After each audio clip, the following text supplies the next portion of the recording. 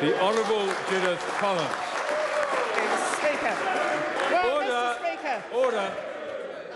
isn't it lovely of them? They're always cheering every time I stand up, Mr. Speaker. See, I think it's a lovely place to work here in Parliament, and um, and I think that the uh, Winston, Right Honourable Winston Peters, who's resumed his seat, made one true comment in that. He said wherever he goes, he has a mirror, and I think. I think, he nods, and nods to accept that. And, and some people would say it's a bit, be a bit careful when you're crossing the road, Mr. Peters, with that mirror in front of your face. It may not work that well. Well, look, I thought we would talk about something important, so we're not going to talk about him. We're going to talk about the cost of living and the cost of living to New Zealanders because no matter what we want to talk about, and some people might want to talk about people with some sort of attention-seeking behaviours, what we're going to talk about is what matters. Let's have a look at rental housing. We saw some issues today in rental housing from the Salvation Army.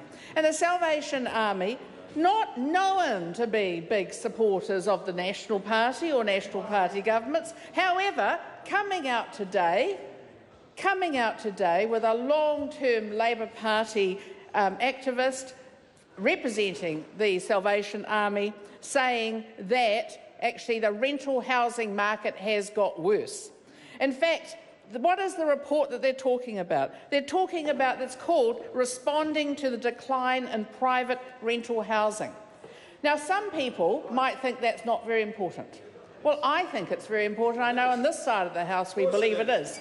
And every single announcement on rental housing from the Labour-led government, from Phil Twyford, has been about actually decreasing the number of private rental houses available. And the Salvation Army, barely, certainly not people connected to the National Party, have come out today and said that's absolutely right.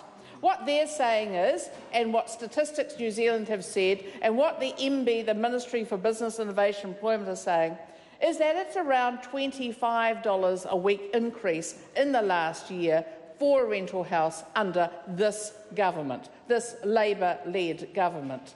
They have actually overseen enormous cost increases. Let's have a look at petrol tax. Electorate like Papakura that I represent, big issue for people there. Big issue for carpenters, big issue for people working on building sites, big issue for people who carry tools, who have to work from go from site to site during the day. They're not going to sit around waiting for public transport. You can't take your building tools on a public transport site. You can't do that. And what we've got is a government that turns there, we heard today, saying things like, oh, it's about $2 a week more. What a load of rubbish. What a total load of rubbish. The further out people live from from the building sites or from the work sites, the more they pay. And most people who do not get the opportunity to have an electric vehicle. And let's just look about the talk about electric vehicles for a moment. An appalling performance yet again from David Parker, representing the Minister of Energy and Resources. An appalling performance. He said, wind turbines are, go, are so renewable. Well, actually wind is. The turbines themselves, not so much. Three tonnes of copper in every single wind turbine, all having to be taken out of the ground. Three tonnes of copper. Then you have the concrete. The concrete. Then you have the steel. Massive amounts of steel. And guess what? You need to have iron. Steel is made from iron and coal. Why is it coal? Why is it coal? Because it's carbonated steel, uh, carbonated iron. That's what steel is. So you've got wind may be well renewable, and certainly from that side of the house, it's very renewable.